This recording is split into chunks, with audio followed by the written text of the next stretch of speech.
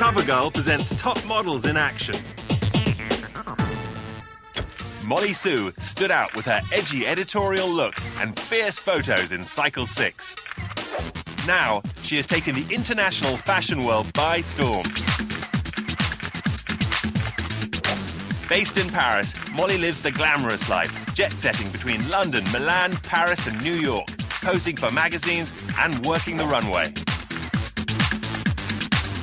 For your chance to meet this cycle's winner, go to cwtv.com slash covergirl and enter the Meet the Model sweepstakes or text ANTM to 24475.